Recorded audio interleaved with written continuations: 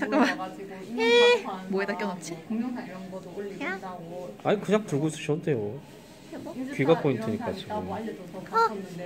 귀 아직 그럼 자신 임시 고정이죠 지금? 네, 지금 퍼티에다가만 대충 껴놓은 거예요. 지금 퍼티 네. 위치를 네. 어차피 귀 들어갈 부분은 살짝 깎아야 되니까. 올라갈 건 아니죠 이렇게 위로. 네, 네, 네, 살짝 네네네네. 올라가. 딱 정도. 얘가 약간 귀가 네. 삼각형이라고 해야 되나? 이렇게. 아 네. 옆으로 딱 누워 있는. 네네, 누워 있는 귀라. 그 인형 만드는 사람 진짜 이런 느낌.